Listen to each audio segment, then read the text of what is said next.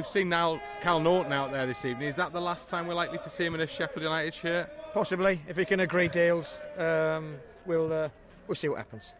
I mean, fees agreed, isn't it, with Everton, as I understand it? Yeah, yeah. I mean, but he's still got to agree personal terms, and that's not always uh, a foregone conclusion. But uh, I'm afraid it could well be the last game. Is that? It's not easy for you. You want to keep your better players, don't you? Yeah, um, but that's the way it, uh, the game is at the moment. You know, uh, an offer's come in, the club feel it's acceptable, and we move on.